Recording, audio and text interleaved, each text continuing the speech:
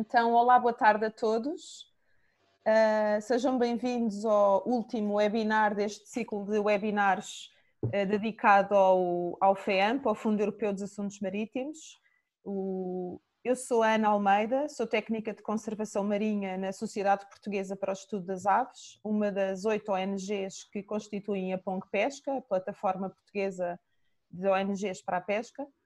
Eh, resolvemos uh, organizar este ciclo de webinars, dado que o próximo ciclo deste fundo está atualmente a ser discutido a nível europeu e achámos que era importante trazer um bocadinho esta discussão para o contexto nacional, convidando então uma série de convidados de stakeholders de diferentes uh, instituições para virem aqui dar o seu contributo. Tivemos elementos da Digimari, tivemos um eurodeputado, elementos da academia, do setor, e hoje, para terminar, temos Luís Souza, eh, gestor adjunto do Programa Operacional MAR 2020 em Portugal.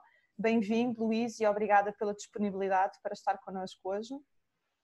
Um, para quem hoje é a primeira vez que nos ouve, uh, faremos, o Luís fará uma apresentação para todos e, e, os participantes poderão colocar perguntas por escrito, utilizando para isso o ícone, na, uh, o ícone da Q&A, das perguntas por escrito. Pedimos para se apresentarem, dizerem só o nome e de, e de, onde nos escrevem, por favor. Podem ir colocando as perguntas durante a apresentação, não faz mal. Quando o Luís acabar a sua apresentação, depois eu e a Ana vamos ajudando aqui a dinamizar as, as questões colocadas e tentaremos responder a todos. Uh, e acho que é isso. A sessão dura entre as 14 e as 15 horas. Pedimos desculpa aos que chegaram a horas, porque demos aqui um compasso de espera, porque de facto temos, tínhamos mais pessoas inscritas do que aquelas que estão online, por isso estávamos a ver se as pessoas ainda se juntavam, mas pronto, acho que agora chegou a hora e podemos então dar início ao último webinar. Muito bem. Muito obrigado, doutora. Bom, uh aquilo que eu me proponho uh, fazer é apresentar uma breve descrição do programa e da respectiva estrutura, uh, o, o, ponto de situação da sua implementação, depois partilhar convosco algumas lições de experiência dessa implementação que colhemos sobretudo uh, num recente exercício de avaliação do, do programa, que está de rede disponível no nosso sítio da internet, e depois terminar uh, deixando algumas perspectivas para o, o próximo período de programação. Começando então pelo, pela descrição sucinta do PO. Penso que, imagino que todos os participantes neste webinar uh, saibam que o, o MAR 2020 operacionaliza em Portugal o, o Fundo Europeu dos Assuntos Marítimos e das Pescas. É um programa que tem uma dotação global de 508 milhões de euros, dos quais 392 milhões são fundo comunitário e os remanescentes 116 milhões são contrapartida pública nacional, portanto com origem no Orçamento de Estado. Um, este programa uh, tem subjacentes duas políticas públicas, uh, a Política Comum de Pescas e a Política Marítima Integrada, uh, e está estruturado em seis prioridades estratégicas, tendo ainda um envelope financeiro consignado à assistência técnica aos vários organismos públicos envolvidos. Portanto, nós temos uma primeira prioridade estratégica que é dirigida à promoção de uma pesca sustentável, uma segunda prioridade estratégica dirigida ao desenvolvimento sustentável da aquicultura. Temos depois uma terceira prioridade que eh, basicamente envolve duas medidas que antes estavam sob gestão direta da Comissão Europeia e passaram neste quadro a estar sob gestão partilhada. Falo-vos em concreto da, do controle da atividade da pesca e da recolha de dados no contexto da política comum de pescas. Temos depois uma prioridade 4, que é uma, uma prioridade muito particular, uh, na medida em que tem uh, uma lógica diferente, está sendo uma lógica bottom-up e dirige-se ao desenvolvimento sustentável de, das comunidades pescatórias, tendo por objetivos aumentar o, o, emprego e a coesão territorial. Temos depois uma prioridade 5 dirigida à indústria de transformação de pescado e, por último, uma, uma prioridade 6 uh, que está focada na implementação ou na concretização de alguns objetivos da política marítima integrada. Dizer-vos apenas que, uh, neste momento, e após alguns reacertos de dotações financeiras que ao longo do percurso fomos fazendo, a prioridade 1 e a prioridade 5 são aquelas que uh, têm maior envelope financeiro alocado. Bom, uh, deixem-me só dar-vos alguns exemplos, porque nós enfim, sendo o convite da, da PONG, é inevitável falarmos de sustentabilidade ambiental e quero deixar-vos alguns exemplos de algumas medidas das várias prioridades que há pouco elenquei que efetivamente materializam esta preocupação com a sustentabilidade ambiental. Desde logo, na prioridade de uma medida de apoio a investimentos a bordo de embarcações de pesca, em que nós apoiamos, por exemplo, investimentos que melhorem a seletividade das artes, uh, que eliminem devoluções, evitando ou reduzindo capturas indesejadas, eliminem ou limitem impactos físicos e biológicos da pesca no, no ecossistema e no fundo do mar, ou que visem mesmo a emissão de poluentes ou de gases com efeito estufa. Uh, ainda na prioridade 1, também uh, na medida de proteção e restauração da biodiversidade, encontramos diversas ações elegíveis que visam uh, exatamente materializar estas preocupações ambientais.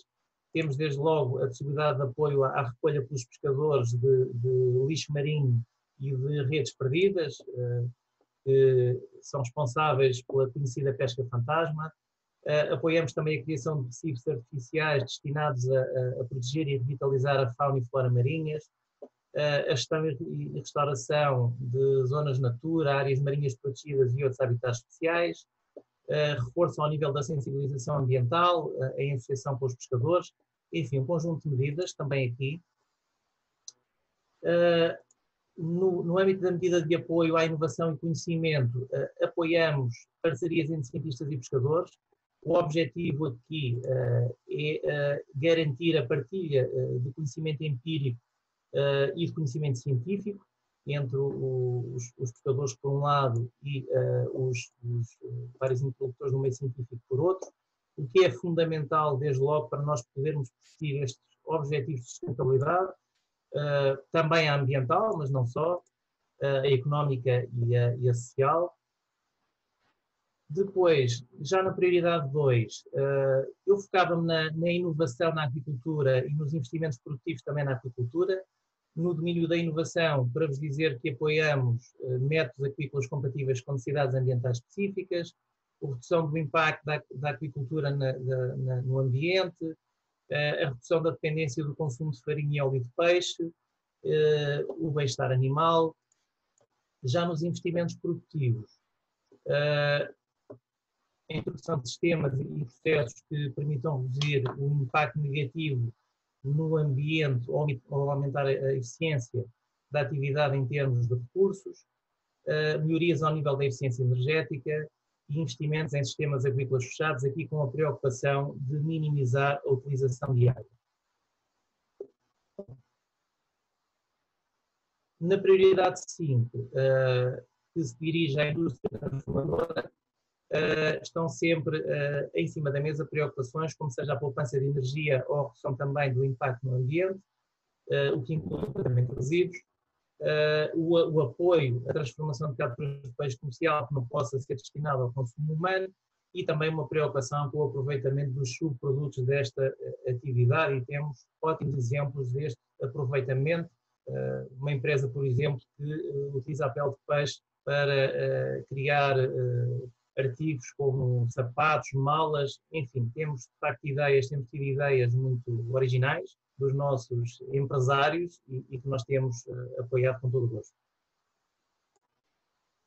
Por fim, ao nível da prioridade 6, uh, eh, em particular, uh, medida que se dirige à melhoria do conhecimento do meio marinho, materializa estas preocupações no, apoios à elaboração de planos de gestão para a sustentabilidade de, de atividades humanas nas áreas marinhas protegidas, uh, também uh, ao nível da, do à elaboração de estudos para a avaliação de condições e recursos necessários à instalação e funcionamento de dispositivos de monitorização do ruído submarino uh, e, e, uma preocupação muito particular com a monitorização do, e caracterização do lixo marinho no litoral e determinação de bioindicadores para a monitorização desse mesmo lixo.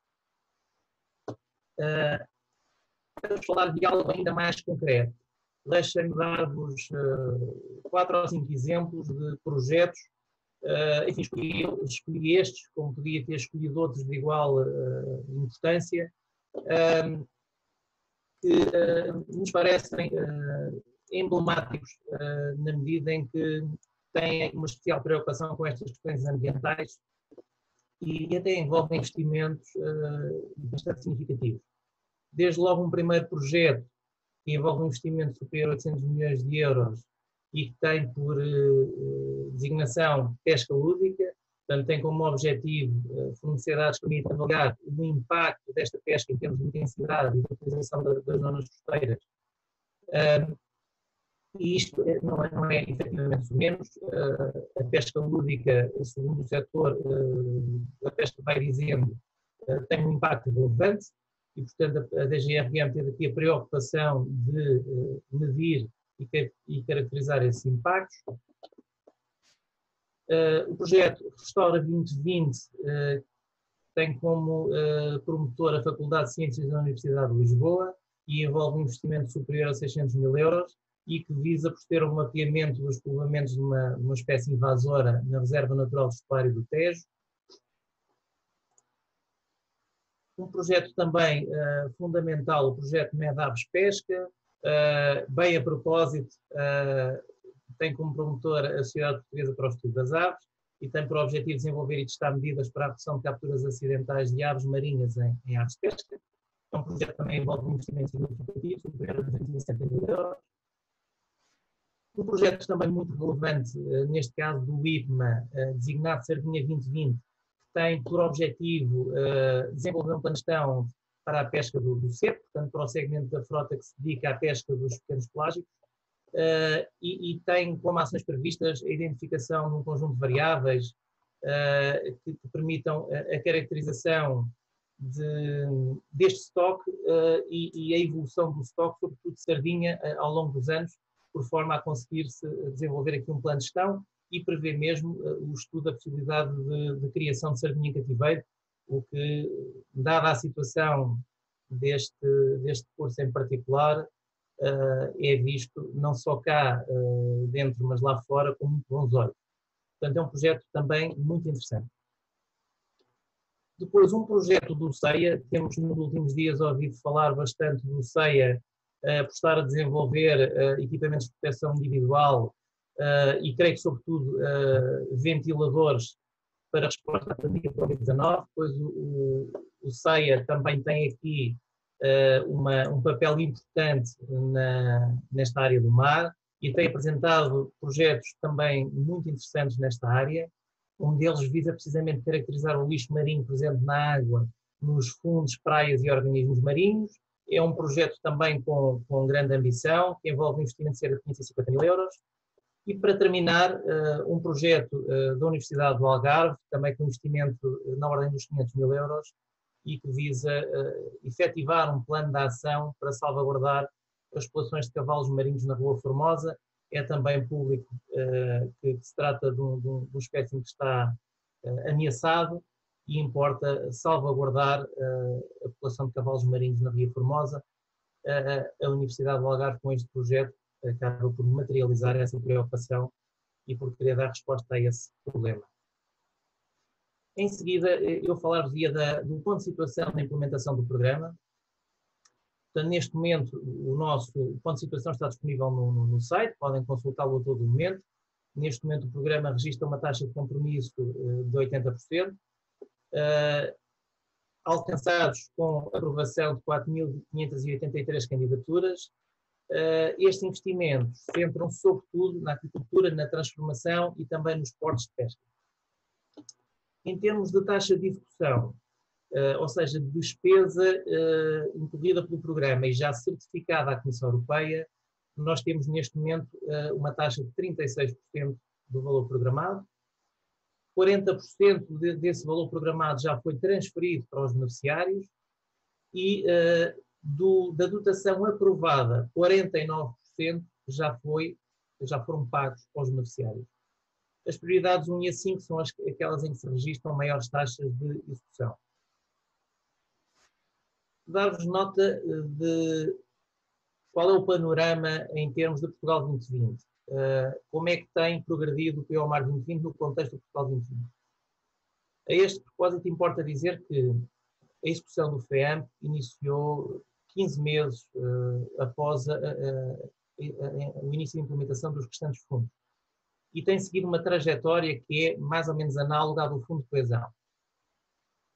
podemos fazer um exercício simples, que é se nós nos situarmos no final de 2019 e recuarmos 15 meses, ou seja, a setembro de 2018, verificamos que todos os fundos, exceto o, o FEADER, portanto, da Agricultura, apresentam taxas de execução inferiores à taxa de FEAMP que então se verificava. Isto para vos dizer que, apesar de termos começado com uh, um enormíssimo atraso comparativamente com os demais fundos do Portugal 2020, com os demais programas do Portugal 2020, temos uh, vindo a acelerar a implementação do programa uh, e, em termos relativos, estamos numa situação, diria que, confortável. No contexto da União Europeia, nós temos, como vos dizia há pouco, uma taxa de execução de 36%, o que nos coloca dois pontos percentuais acima da média de execução da, dos vários Estados-membros, portanto, média da União, e acima de uh, Estados-membros com envelopes financeiros comparáveis com o nosso. Falo em concreto da França, da Itália, da Espanha, da Grécia, da Polónia. Portanto, esses países são aqueles que têm efetivamente envelopes financeiros substanciais, comparáveis ao Portugal, e relativamente a esses, nós estamos numa posição cimeira. E, como digo, além do mais acima da média da, da União. Portanto, isto também nos dá uh, algum conforto. Uh, Dizer-vos também que uh, neste momento já, estão, já está atingido 91% da regra N mais 3, ou seja, a regra que prevê a anulação automática de dotação financeira caso não sejam atingidos os objetivos de execução que nos estão colocados. Uh, portanto, neste momento não temos especial preocupação com o cumprimento da regra, porque ela está substancialmente já cumprida e dizer-vos também que esta regra sempre foi cumprida, portanto, em 2018 e 2019. Passando agora uh, às ditas uh, lições de experiência da implementação do MAR 2020. Uh, como vos dizia inicialmente, estas lições de experiência que vos vou falar estão sobretudo assentes no exercício de avaliação do programa, que é recente. Uma das primeiras uh, constatações dos avaliadores uh, é no sentido que o PO é muito abrangente e diverso. E isto porquê? Uh, porque envolve efetivamente quatro objetivos temáticos diferentes que congregam as três dimensões das agendas de crescimento europeu. A agenda do crescimento inteligente, a agenda do crescimento sustentável e a agenda do crescimento inclusivo. Portanto, estamos efetivamente a falar de quatro objetivos temáticos no conjunto destas três agendas. Consideram também que é um PO sensível, na medida em que promove o equilíbrio eh, e a arbitragem entre competitividade das atividades e sustentabilidade dos recursos. Uh, e consideram que é um PO complexo, na medida em que abrange uh, várias tipologias de, de, instrumentos de financiamento, desde os clássicos apoios ao, ao, investimento, até aos apoios ao rendimento, seguros, programas de formação e apoio ao funcionamento. Este apoio ao funcionamento tem sobretudo a ver com apoio a entidades públicas, uh, ao nível da, do controle da atividade da pesca e da recolha de dados, ao nível de medidas relacionadas com a organização comum de mercados e, e ainda uh, de outras medidas relacionadas com a política marítima integrada. Uh, no, que se, no que se refere aos stakeholders, às partes interessadas, Dizem os avaliadores que há uma grande multiplicidade e diversidade de stakeholders envolvidos e, efetivamente, uh, testemunha isso mesmo a composição do Comitê de Acompanhamento. Nós temos cerca de 70 entidades representadas no nosso Comitê de Acompanhamento. Consideram também os avaliadores que o modelo de gestão é algo denso e desconcentrado, com múltiplos organismos intermédios, uh, organismos esses com, com experiências e níveis de capacitação diferenciados, este elevado número de organismos intermédios deve sobretudo ao facto de os grupos de ação local da pesca serem também organismos intermédios e estes diferentes níveis de capacitação também têm sobretudo a ver com estes grupos, porque há grupos que já têm uma experiência de anteriores quadros, quer na, na, na área do mar, quer na área da agricultura. Há, no entanto, grupos de ação local que são novos, que só surgiram neste período de programação e, obviamente, não, não atingiram ainda ao nível de, capacitação e de maturidade daqueles outros galpescas já com essa experiência mais, mais longa.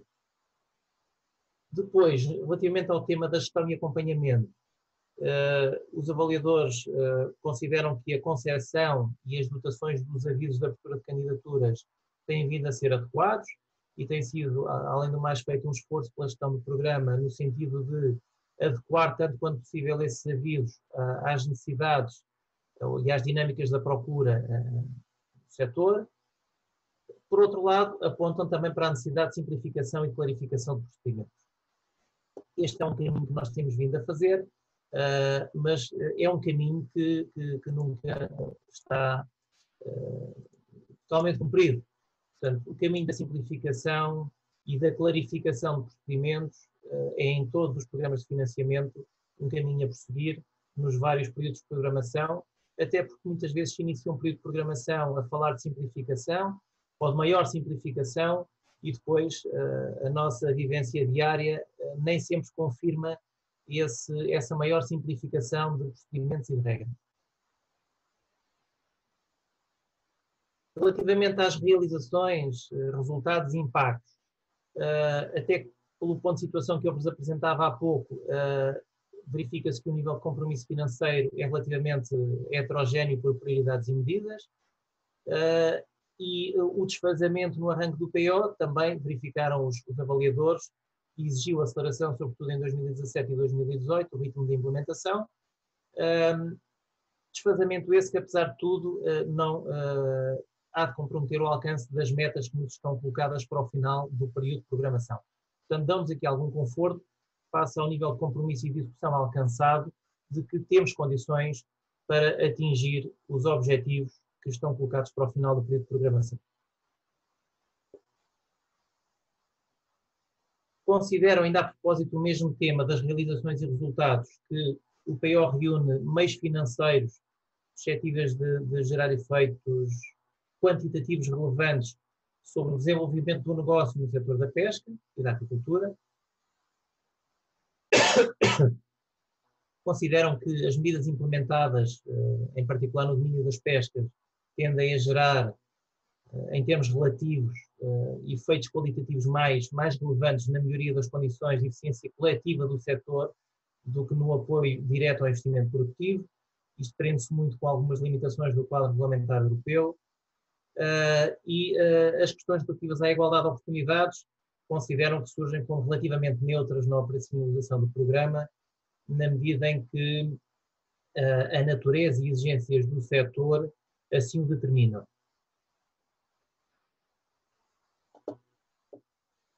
Depois, ehm, constatam também que as preocupações relativas à sustentabilidade dos recursos e do ambiente estão na base da concepção do programa, uh, estão de resto na base de, de, da criação do fundo e estão presentes na, na, na, implementação do mesmo sob múltiplas formas, como de resto uh, já, já vimos com os exemplos que vos dei há pouco, quando passei em revista algumas das medidas do programa.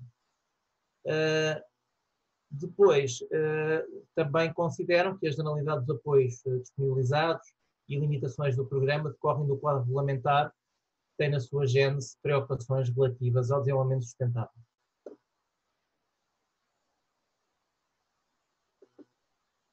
Os avaliadores apontam também uh, para a necessidade de reforço da cultura de orientação para resultados. Uh, aqui consideram uh, necessário a contratualização, a efetiva contratualização de resultados, em concreto com, com os nossos beneficiários. Acham que, que é necessário um maior comprometimento com, esses, com o cumprimento desses indicadores e que a gestão do programa deve ser consequente quando os mesmos não sejam atingidos. Uh, e, de, e, e, apelam também a que se promova uma articulação de objetivos, tipologias e intensidades de apoio com instrumentos de outros programas uh, operacionais. Sublinham ainda a necessidade de se fazer uma transição de uma lógica de controle das operações para uma lógica de efetivo acompanhamento. Este é também um, um caminho a fazer. Depois, focando-se, uh, agora falando de recomendações mais específicas, uma em particular que se prende com o Comitê de Acompanhamento. Uh, consideraram os avaliadores que será de ponderar a inclusão no próximo período de programação de uma entidade, isto no Comitê de Acompanhamento, uma entidade mais dedicada ao conhecimento científico e ao desenvolvimento tecnológico. Bom, eh, nós já temos o, o que é o Laboratório de Estado de Referência, que tem por missão coordenar a investigação científica no, na área do mar e tem sendo um comitê de acompanhamento. No entanto, uh, deve com certeza ser ponderada a inclusão de outras entidades de caráter científico ou tecnológico que possam aportar aqui novas, novas reflexões, novos conhecimentos que, que tragam mais valia na implementação do PO. Por outro lado, apontam também para a necessidade de reforçarmos a intervenção do Comitê de Acompanhamento ao longo da implementação do programa.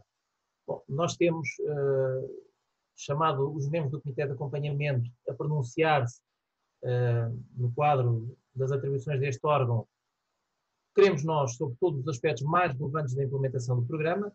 Haverá, contudo, sempre espaço para nós reforçarmos estes mecanismos de participação e envolvimento dos vários stakeholders, Portanto, claro que sim, deve ser um, um tema em cima da mesa quando da, da preparação do próximo plano. Uh, uma outra recomendação específica aponta para a necessidade de definição de planos de ação ou de intervenção específicos para as regiões autónomas. Uh, quero dizer-vos a propósito que já no atual quadro uh, começámos por definir uh, dotações financeiras indicativas para as duas regiões autónomas foi formalizada a atribuição de, de verbas uh, em novembro do ano passado, uh, portanto, isso já se materializou no atual quadro. O que está perspectivado para o próximo é que haja uma maior uh, definição daquilo que são verbas alocadas às regiões ultraperiféricas. Aquilo que nós queremos sublinhar a propósito deste tema é que devem sempre estabelecer-se mecanismos de flexibilidade que permitam a reafetação de recursos entre os três territórios, por forma a que nós possamos assegurar a integral absorção de verbas. Porque efetivamente estamos uh, confrontados com uma responsabilização centralizada na autoridade de gestão e, portanto, se houver alguma perca uh, de, de, de dotação em alguma região, ela perde-se não para a região, perde-se para o programa, perde-se para o país e nós temos que ter, nós e as regiões autónomas, a necessária agilidade para uh, promover aqui alguma reafetação de verbas que permita uh, executá-las integralmente. Portanto, isto para nós é que constitui os ílis da, da questão. Depois, uh, uma outra recomendação específica, de, no sentido de reforçarmos o envolvimento da autoridade de gestão no acompanhamento dos projetos contratados. Nós aqui temos feito um, um, um trabalho, nós já garantimos a monitorização e acompanhamento das operações nas suas diferentes dimensões e fases. Uh, acompanhamos os prazos, o cumprimento de prazos de início de conclusão, as metas de execução interescalar que nas grandes medidas de investimento sempre fixamos e, uh, naturalmente, o cumprimento de objetivos também. Além do mais, uh, os nossos organismos intermédios fazem eles próprios esse acompanhamento sob nossa supervisão e nós consideramos que seria fundamental criar-se um, um, sistema de informação, uh, porque nós iniciamos este período de programação ainda com candidaturas em suporte de papel e com as análises e decisões uh, também uh, em suporte de papel, achamos que teríamos forçosamente que caminhar para a desmaterialização, quer da submissão de candidaturas, quer do procedimento de análise e decisão, e isto também nos vai permitir dar um salto em frente no acompanhamento das operações, na medida em que teremos outra possibilidade de aceder e tratar a informação e, e num, num, muito mais curto espaço de tempo percebermos uh, as correções uh, ou alterações de rumo que temos que fazer. Portanto, uh, vemos com bons olhos, naturalmente, esta, esta recomendação. Como vos digo, temos vindo a fazer este caminho e este é um caminho que temos que aprofundar, com certeza, num, num próximo período de programação.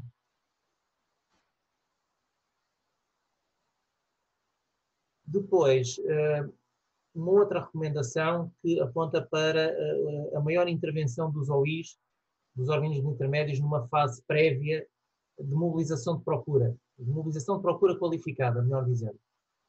Nós consideramos que é fundamental, porque efetivamente nós o que queremos é, eh, tanto quanto possível, apoiar operações que materializem os objetivos que estão na base do programa e, e, e na base do, do, do FEM.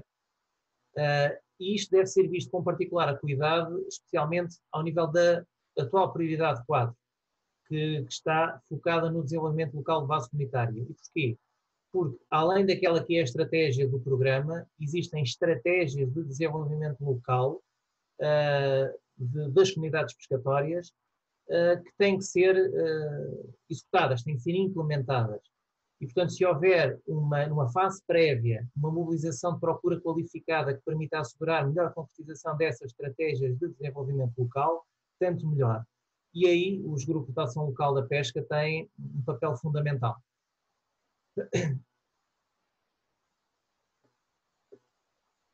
Depois, uh, os, os, avaliadores retornam ao tema da, da simplificação administrativa. É óbvio que, como se dizia há pouco, é, é um caminho que tem que ser continuado, uh, nomeadamente ao nível da verificação de documentos de despesa. Uh, há um caminho longo a fazer no sentido da simplificação. há sempre a hipótese de introdução de custos simplificados, de overheads, Deixem-me dizer-vos só que a adoção de custos simplificados, uh, apesar da designação custos simplificados, não, não é uh, muito simples, na medida em que implica a construção de metodologias complexas, com recurso a dados históricos e modelos uh, estatísticos e matemáticos, e tudo isto tem que ser verificável e verificado pelas entidades inspectivas, pelas entidades uh, que nos auditam. Um, nós aqui uh, vimos numa, num dilema uh, que era ou dedicarmos a, acelerar, a acelerar a execução do programa com eh, as armas que tínhamos, com as regras que tínhamos, ou avançarmos para um modelo alternativo, que não foi inicialmente previsto, que envolvesse o recurso a custos simplificados, sendo que esta alternativa era uh, necessariamente morosa. Pois nós decidimos focar-nos na otimização do programa com as armas que tínhamos, Uh, não descurámos, no entanto, esta possibilidade de adoção de custos simplificados. A regulamentação comunitária prevê que, em alguns casos, nós possamos adotar aquilo que se chama taxas fixas, o que dispensa a construção destes modelos estatísticos complexos. Uh, fizemos essa abordagem, uh, não encontramos receptividade da parte do, do, do, dos stakeholders e, portanto, não vimos grande vantagem em, em abordarmos essa, essa alternativa ainda neste quadro.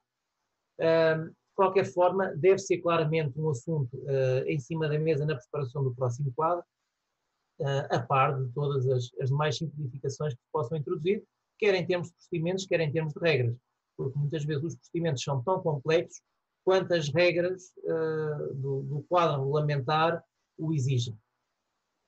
Portanto, eu acho que este exercício de simplificação deve, obviamente, iniciar pela simplificação, tanto quanto possível, pela flexibilização possível das regras comunitárias que vamos ter que pôr em prática. Depois, consideram ainda os uh, avaliadores que devemos considerar uh, elementos valorizadores da integração das mulheres e pessoas com deficiência em atividades específicas do setor. Bom, este uh, é um exercício, foi um exercício, é uma avaliação que nós já fizemos no atual período de programação, portanto, das áreas onde as dimensões de igualdade e de género e integração de pessoas com, com incapacidade ou deficiência pudessem ser contempladas. Uh, o, o, a proposta de critérios de seleção que nós levamos ao nosso comitê de acompanhamento mais recentemente, que visa o apoio a novos agricultores, já refletem esta dimensão, mas entendemos, sobretudo, que este é um exercício que deve ser refletido na preparação do próximo período de programação. Terminaria então com uh, algumas perspectivas para o, o, próximo quadro. Bom, nós aqui, este é um tema uh, mais fácil de abordar por um lado, uh, porque não, não há muito ainda que se possa dizer sobre ele, mas é sempre um tema que, do ponto de vista teórico, é complexo. Uh, dizer-vos desde logo aquilo que presumo que todos saibam. Temos aqui ainda uma grande incerteza face ao, ao, ao próximo quadro. Temos ainda uma, uma negociação em curso em relação ao quadro financeiro plurianual e agora, neste contexto de pandemia de Covid-19, uh, já está colocada em cima da mesa a possibilidade de haver um, elemento de transição, ou seja, não haver uma descontinuidade entre o atual período de programação e o próximo, não haver um gap. Uh, isto já aconteceu em, em anterior período de programação no, com a agricultura, tanto quando sabemos o, o regulamento uh, da agricultura uh, já prevê esta possibilidade, ou a proposta de regulamento já prevê esta possibilidade de transição, parece que está agora em cima da, da mesa para os mais fundos, FEAMP incluído, vamos ver como é que termina esta discussão.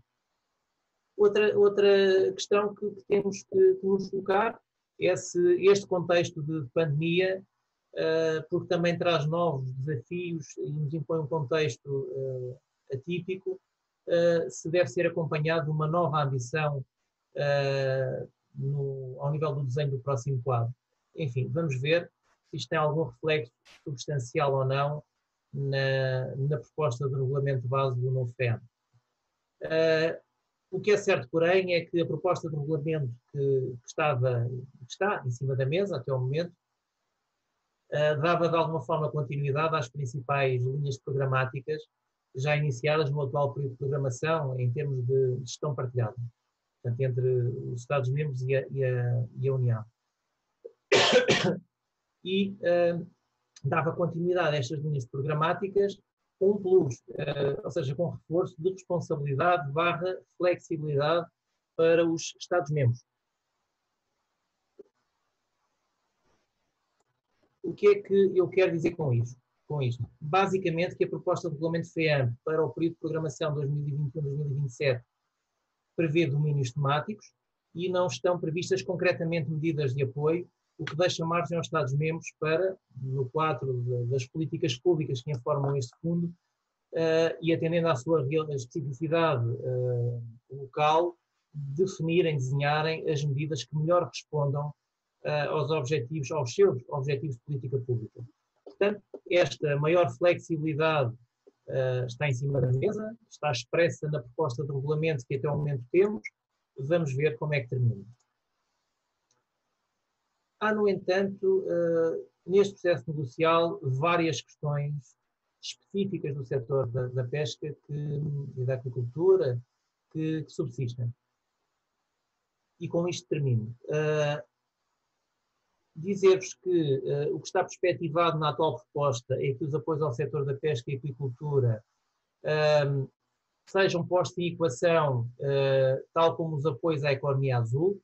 Portanto, a economia azul surge aqui no atual quadro de forma ainda relativamente mitigada ao nível da prioridade 6 uh, eh, com relação com a política marítima integrada, mas temos aqui um novo desafio uh, no setor a que devemos responder, que tem a ver com estas novas áreas da economia azul.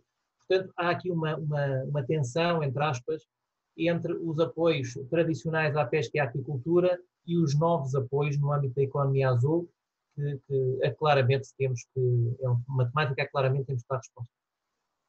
Depois o tema da, das, dos abates de embarcações, portanto das estações definitivas de embarcações uh, de, de, das atividades da pesca, peço desculpa, uh, foi novamente uh, colocada em cima da mesa pela Comissão Europeia, está refletida na proposta do regulamento.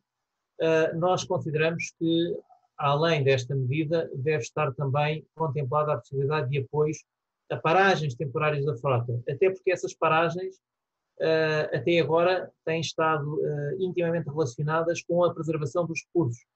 Portanto, normalmente uh, os apoios à frota, à paragem da frota, visam garantir a sustentabilidade dos recursos helióticos e, portanto, nós entendemos que esta possibilidade deve continuar a existir no próximo quadro e até com alguns ajustamentos, com alguma flexibilização relativamente ao que temos no atual quadro. Também uh, está colocada a hipótese de haver uma, uma apoios uh, sob a forma exclusiva de instrumentos financeiros para o setor da agricultura.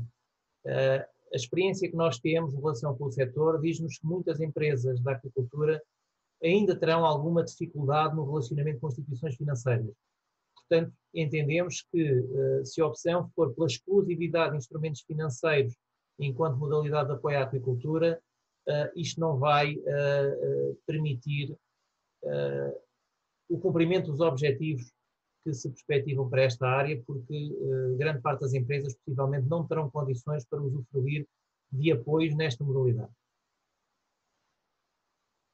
De resto, a mesma questão se coloca ao nível da indústria transformadora ao nível da indústria, não será assim tão evidente que há uma, uma dificuldade generalizada de acesso a entidades, a instituições financeiras, mas haverá com certeza ainda muitas empresas com algumas dificuldades nesse acesso e, portanto, o que era desejável é que houvesse no mínimo um misto de subvenções barra instrumentos uh, financeiros.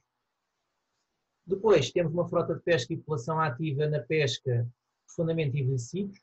Quando nós falamos em, em, em modernização e inovação na frota de pesca, isso não é compaginável com a idade que as embarcações têm. Nós temos maioritariamente embarcações em madeira com uma idade efetivamente muito elevada, superior uh, em média a 30 anos, uh, e depois também não é compaginável a realização de alguns investimentos com fortes restrições que resultam do regulamento comunitário no que respeita ao aumento da capacidade de pesca. Uh, aqui, obviamente, não, não, não, não pugnamos por um aumento do esforço de pesca, mas há, uh, há investimentos que são uh, absolutamente essenciais, que não envolvem aumento do esforço de pesca, que não, não envolvem o aumento da, da, da capacidade de armazenar o peixe e que, dessa perspectiva, deveriam ser apoiados e nós temos mesmo no atual quadro fortes restrições uh, a esse tipo de apoios, a esse tipo de investimentos. Uh, por outro lado, outros investimentos que são hoje vistos como mera manutenção são absolutamente essenciais em matéria de segurança, como seja uh, nas embarcações de madeira, a calafetagem e repregagem das embarcações. Portanto, também o conceito de operações de manutenção e respectiva elegibilidade e não elegibilidade deve ser repensado no próximo quadro. Depois também uh, os, os, níveis de apoio, designadamente uh, ao ingresso de jovens pescadores na atividade, que é simplesmente o apoio mais baixo que nós temos em termos percentuais no atual quadro, e portanto se nós queremos uh, rejuvenescer a população ativa na pesca, temos que dar um sinal e esse sinal passa por apoios mais significativos do que aqueles que temos no atual quadro. Conclusões. Uh, enfim, em jeito de síntese, à partida, tudo indica que se manterão as possibilidades de apoio no quadro do, do próximo FEAM a, ações relacionadas com a preservação de, dos ecossistemas, com a sustentabilidade ambiental. Tudo indica que isso estará ao nosso alcance, porventura até com maior uh, flexibilidade ao nível do desenho das medidas. Uh, em todo o caso, o alcance dessas medidas dependerá sempre das regras gerais de elegibilidade que vierem a constar da versão final do regulamento base e, naturalmente, do equilíbrio que se consiga ou se estabeleça entre a competitividade do setor e a sustentabilidade ambiental, sendo certo que competitividade só pode ser alcançada com sustentabilidade, essa não é apenas uma opinião da autoridade de gestão, é uma opinião generalizada que uh, os próprios avaliadores constataram na, na, na que fizeram aos vários stakeholders. E pronto, com isto termino. Espero não ter sido uh, demasiado amassador e fico ao vosso dispor para me colocarem as questões que entenderem e espero estar à, à altura da, da, dessas mesmas questões, que consiga responder. Muito obrigado. Obrigada, Luís, certamente que sim. Muito obrigada. Foi uma, foi uma apresentação muito, muito completa, muito esclarecedora. Uh, temos aqui algumas questões e vamos já avançar para elas rapidamente para conseguirmos acabar nos próximos 15 minutos, no máximo.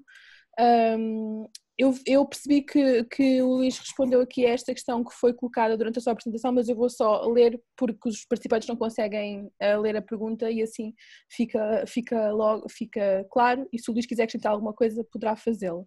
Uh, a pergunta é do Pedro Emílio, da agência Lusa, que está a ver-nos e pergunta: segundo o último boletim dos fundos da União Europeia, com a informação reportada até final de março, o MAR 2020 está entre os programas operacionais com o menor nível de execução, 32%. Uh, no último ano, para a aprovação de projetos. Que se deve esta execução e cumprindo a regra que o Luís falou do N mais 3, será possível executar na totalidade o programa.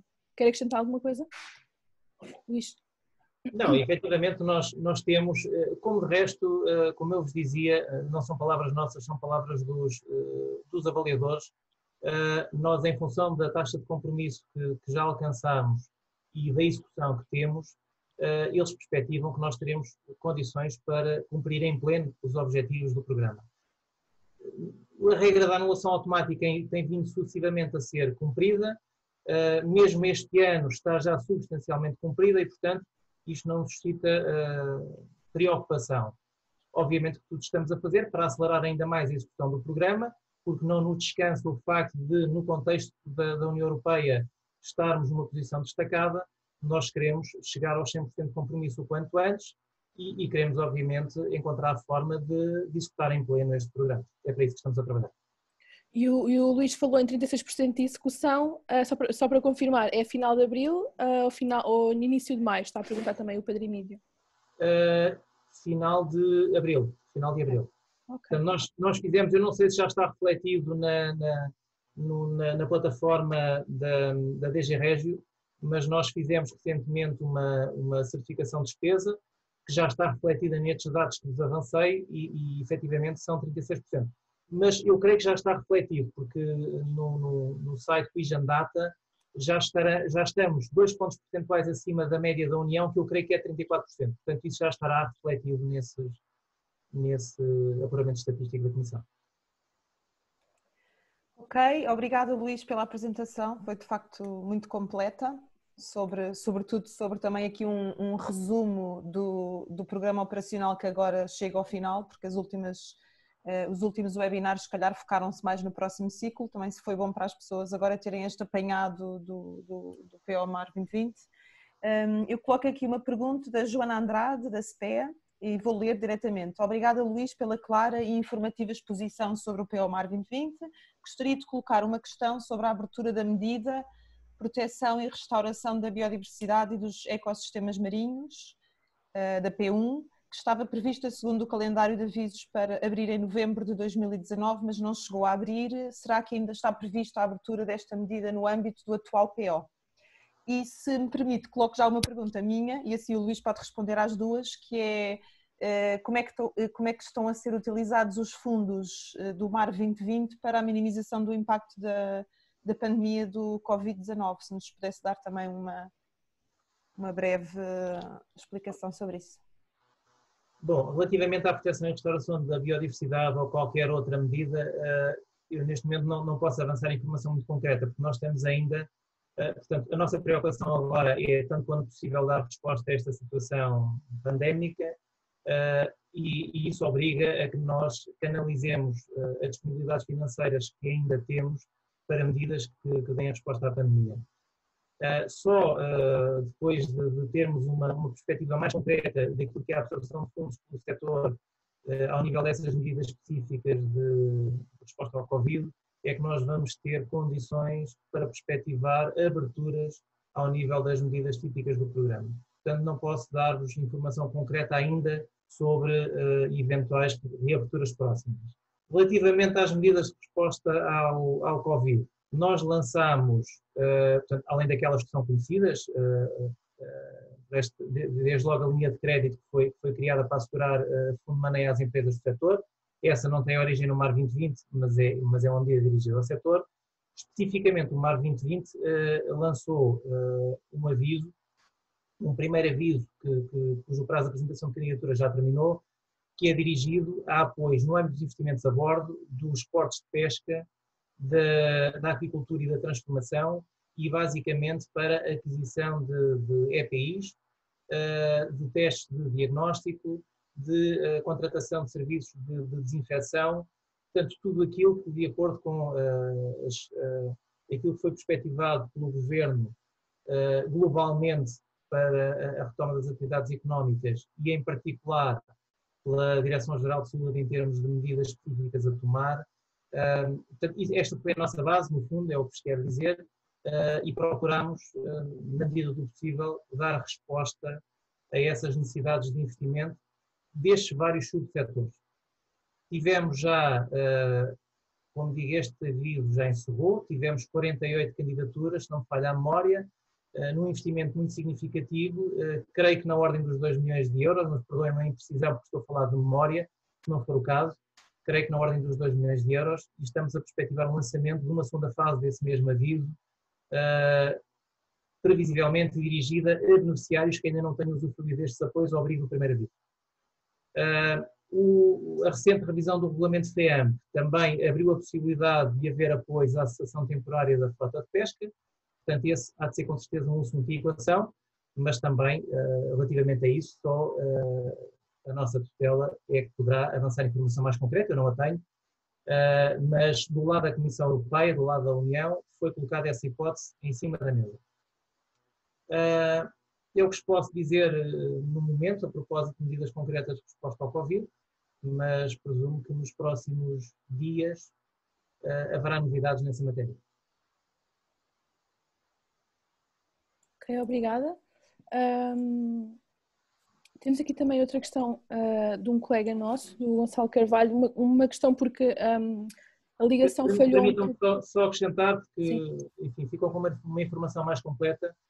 Uh, no caso, nós demos a possibilidade de as, as organizações de produtores da pesca também elas apresentarem, no âmbito daquilo que se chama planos de produção e comercialização, uh, investimentos que visem dar resposta à pandemia. Portanto, por essa via também pretendemos chegar a um universo ainda mais alargado de operadores do setor, neste caso, associados dessas organizações de produtores. Portanto, também isso está a ser, uh, tanto quanto julgo saber, concretizado pelas organizações de produtores. Com o apoio de Martin Sobre o projeto de pesca lúdica que o Luís falou, penso que logo no início da, da apresentação, quando estava a dar exemplos, nós não conseguimos apanhar um, a entidade que está a promover o projeto e que estava a falhar um bocadinho a ligação. Pode dizer-nos qual é? Direção-Geral de Recursos, Segurança e Serviços Marítimos, DGRM. Ok, DGRM, ok, ok. Não, não, não tínhamos percebido. Um, também aqui uma outra questão uh, sobre se tem informação disponível sobre que, que montantes foram atribuídos a projetos e ações relacionadas com o controle e monitorização das pescas e das áreas marinhas eh, protegidas. Tem essa informação? Onde podemos ir buscá-la? Eu, eu, não tenho essa informação de memória, mas ela é facilmente consultável no ponto de situação que nós temos publicado no nosso site. Portanto, nós temos as aprovações, não só prioridade a prioridade, mas medida a medida, e, portanto, lá uh, é consultável uh, o nível de compromisso que nós temos na medida de controle da atividade da pesca. Uh, ainda uh, sobre os mais recentes desenvolvimentos, ontem o Ministro uh, do Mar foi, foi, foi a, uma, a uma audição na, na, Assembleia da República, na Comissão de Agricultura e Mar, e o FEM foi abordado, o futuro FEM, dentre vários outros assuntos, e o Ministro falou de um grupo de influência a, a, citação mesmo, para intervir nas negociações do próximo fundo. Sabe alguma coisa sobre este, sobre, sobre este grupo de influência? Será algo semelhante a uma comissão de acompanhamento ou será um outro grupo ou, ou ainda não sabe essa informação? Essa é uma questão que tem que interessar ao Sr. Ministro, só ele é que pode dar detalhes sobre, sobre o tema. Ok, ok. Iremos fazê-lo. Tens aí alguma pergunta, Ana? Sim, eu tinha, sim se, se, eu puder avançar aqui com mais duas perguntas. Uma era há bocado sobre que eu perguntei sobre os fundos do Mar 2020 para, para a minimização do impacto do Covid-19. Queria um, acrescentar a isso e também à questão de não haver a perspectiva de abertura ou não de, de, de, de novos avisos se as verbas para a minimização do Covid-19 foram retiradas a que prioridades, uh, ou se isso implicou uh, movimentações de verbas entre prioridades? Para já, para já não, para já não. Portanto, aquilo que está uh, em curso foi feito com recurso a verbas que não exigiam mobilização interprioridades. Portanto, está dentro da, da margem de flexibilidade que nós temos dentro da, das mesmas okay. prioridades. Mas está prevista essa mobilização inter prioridades ou? Uh, depende, em função de, de, das medidas que, que haja necessidade de implementar, poderá haver essa necessidade, sim. Mas okay. não está ainda concretizado. Ok, e, minha, e, aqui ainda mais uma questão, que é em relação a, a, que para mim foi uma novidade, a, questão que abordou no final da apresentação sobre o próximo quadro poder não ter eh, um, haver um plano de transição entre os dois programas operacionais, uma coisa mais contínua, uh, e também uma maior flexibilidade dos Estados-membros definirem as medidas a nível nacional, um, e a minha questão é se depois essa definição das medidas a nível nacional uh, será feita no enquadramento de, do Comitê de Acompanhamento ou não? Ou essa definição a nível nacional das medidas do próximo ciclo, se será feita só a nível da tutela e da administração ou, na, ou acompanhada na comissão, no Comitê? Ou... Eu, eu, eu creio, e isso com certeza não há de ser apenas a panagem do atual governo, mas uh, as medidas, desde logo o desenho dos programas, são feitos em diálogo com, com as várias partes interessadas. E, portanto, com certeza que não deixará de ser assim na preparação do próximo quadro. Uh, devo dizer, no entanto, que já houve, na, na, nessa preparação do próximo quadro, uma auscultação de, de vários uh, stakeholders. Portanto, já uh, há longos meses, creio que o, o, Governo promoveu essa auscultação. Imagino que ainda possam existir iniciativas dessas, especialmente quando estiver mais consolidado, mais concretizado, por um lado o quadro financeiro plurianual, por outro lado o regulamento base do próximo FEAM. Uh, portanto, há de com certeza haver algo, alguma articulação. Uh, quando eu vos dizia que é previsível que haja maior flexibilidade para os Estados-membros desenharem as medidas uh, mais à medida, passa a, expressão, das, das, suas necessidades específicas.